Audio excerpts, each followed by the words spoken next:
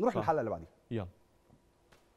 وخد بالك بالكورتين دول ببساطة جدا تقدر تقول إن سموحه النهارده كان اخطر على الأهلي. طبعا. عشان الأهلي أصلا ما وصلوش الكورتين دول. ما أنا كنت. بقول لك كنت بقول لك في البداية قبل بس ما نجيب الحلقة دي وقف لي ثواني ثواني. آه.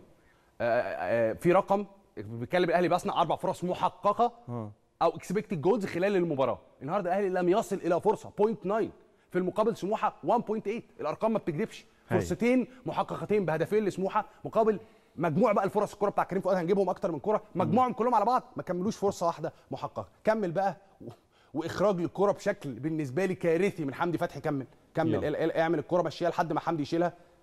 يا حمدي أنت لعيب دولي ما ينفعش لعيب دولي يطلع ياخد ال takeoff مشي الكورة مشي لي frame لانها مش ماشية عندي. أيوه مشيها. ماشيه بص يا كريم اللي هيطلع يعمل ال takeoff اللي قدام الاثنين center backs ده ده حمدي فتحي. بص حمدي بيطلعها فين؟